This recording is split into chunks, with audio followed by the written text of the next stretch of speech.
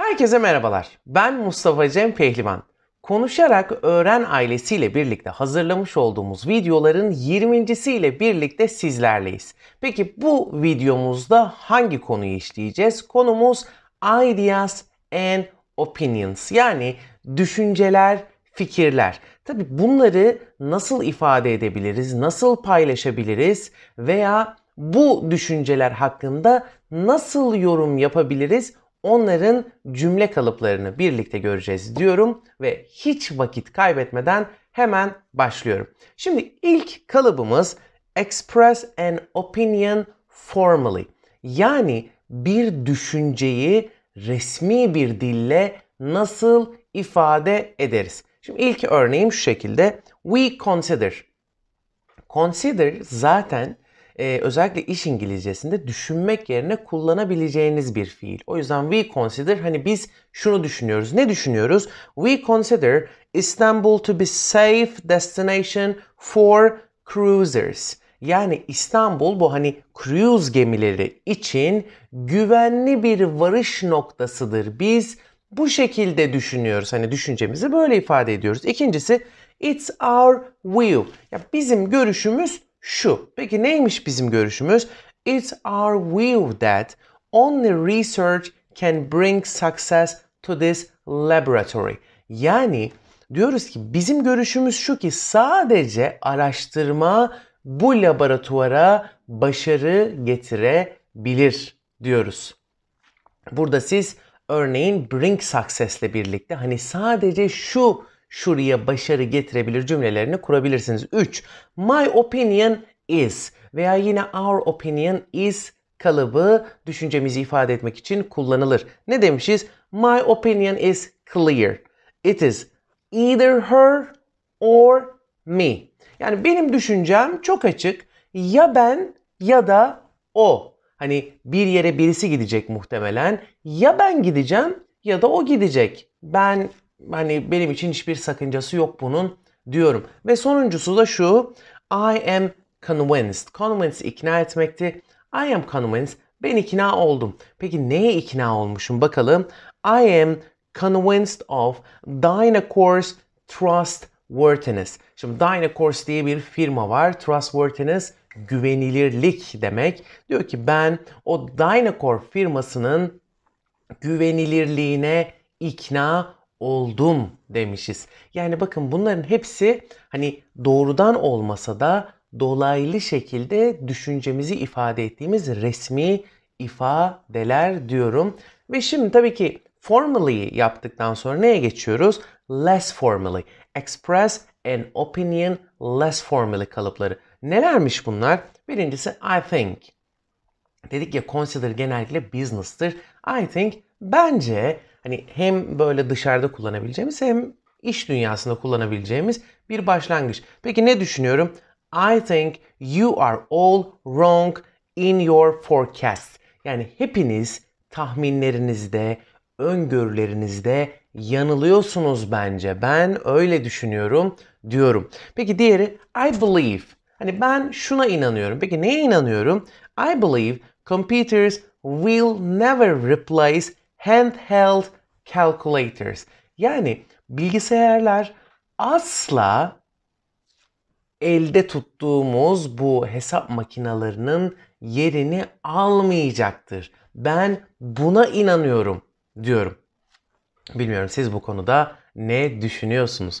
Bir diğeri I would say ya ben şöyle söylerdim veya bak ben böyle söylerim gibi bir kalıptır. Neymiş? I would say Apple has a wider market than all its competitors. Yani hani ben şunu söyleyebilirim ki Apple diğer tüm rakiplerinden daha geniş bir hani market e, büyüklüğüne sahip diyebiliriz.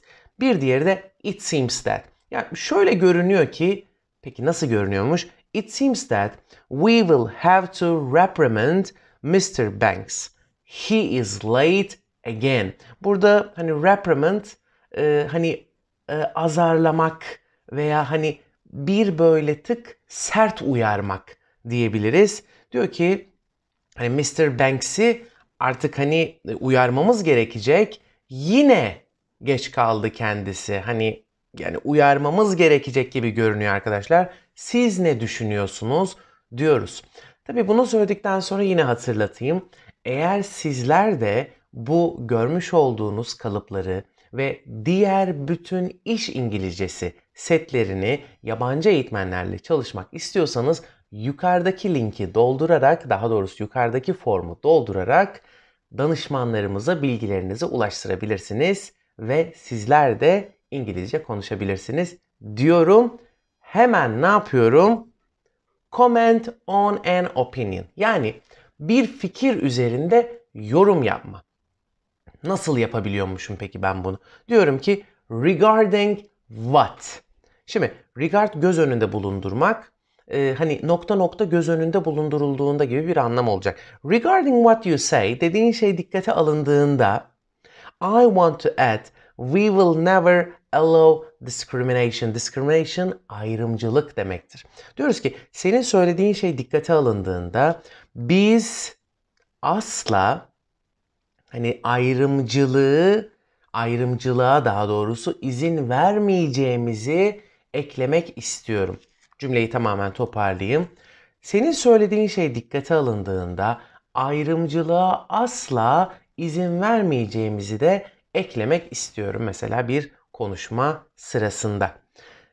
On hearing your words yani hani bu senin kelimelerini duyduğum zaman veya senin kelimelerini duyduktan sonra buna mütakip ne demişim? On hearing your words, I recalled what our chairman used to repeat. Yani senin sözlerini duyduğumda hani ne yaptım? Şunu hatırladım. I recalled neyi? What our chairman used to repeat.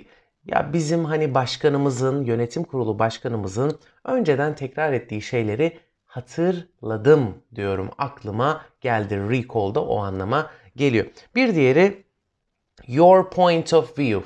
Yani senin bakış açın. Peki neymiş? Your point of view is only shared by a few. Yani senin bakış açın sadece hani birkaç kişi tarafından paylaşılıyor. Yine bir yorum yapıyorum. Bakın kendime ait tamamen subjektif bir yorum. Your point of view is only shared by a few. Siz buradaki a few yerine bir departman ismi kullanabilirsiniz, birisinin adını kullanabilirsiniz. Kendi örneklerinizi vermeyi unutmayın. Ve sonuncusu I would like to make a comment. Çünkü comment dedim artık. Comment de cümle içinde olsun. I would like to make a comment. Bir yorum yapmak istiyorum. Neymiş?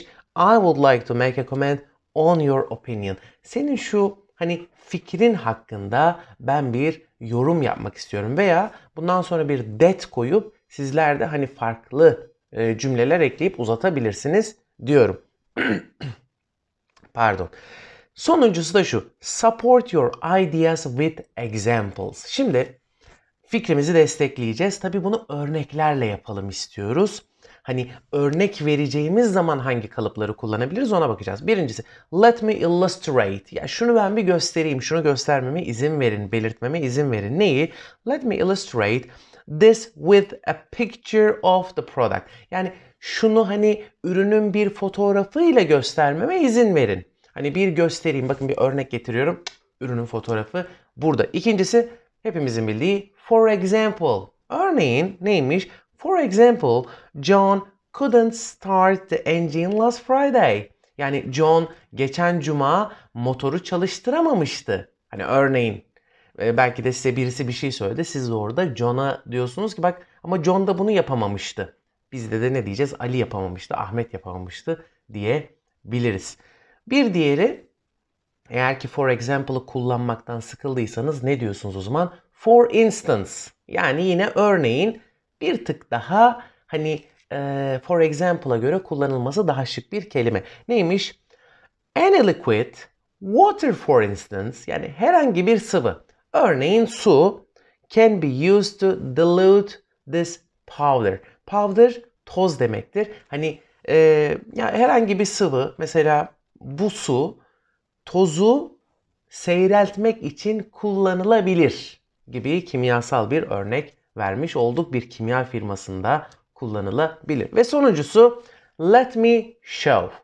Az önce let me illustrate demiştik. Let me show da yine kullanılabilir. Let me indicate diyebiliriz. Burada let me'leri arttırabiliriz. Let me show you what you are missing. Bak kaçırdığın noktayı sana ben göstereyim. Neymiş?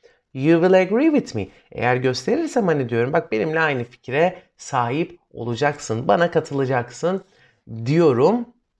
Ve tekrardan hani hatırlatıyorum. Eğer sizler de bu kalıpları yabancı eğitmenler eşliğinde konuşmak istiyorsanız tekrardan yukarıdaki formu doldurarak ne yapabilirsiniz? Yabancı eğitmenlere ulaşabilirsiniz diyorum ve burada da ne yapıyorum? Ee, bu videodaki eğitimimizi noktalıyorum. Noktalamadan önce ne yapıyorum? Öncelikle bir özet geçelim. Biz bugün ne yaptık? Biz bugün opinions ve ideas konusunu işlemiştik. İlk başta express an opinion formally yani fikrimizi böyle resmi bir dille nasıl ifade edebiliriz? Ardından biraz daha less formally ifadeler kullandık değil mi? I think gibi. Birincisinde we consider, işte diğerinde we think, I think gibi. Ardından bir fikir üzerine yorum yapma. Yani başkası bir fikrini paylaştı. Bu sefer de ben yorum yapıyorum o fikir üzerine. Bunları nasıl yapabilirim? En sonuncusunda da hani sahip olduğumuz fikirleri bir örnekle destekleyeceksek bu örnekleri hangi kalıplarla kullanıyoruz bunu gördük diyorum. Umarım da videoyu beğenmişsinizdir. Birazcık da uzattım kusura bakmayın. Ee, eğer beğendiyseniz ne yapıyorsunuz? Beğen butonuna takip etmek için de subscribe veya abone ol butonuna basabilirsiniz diyorum. Herkese keyifli günler diliyorum.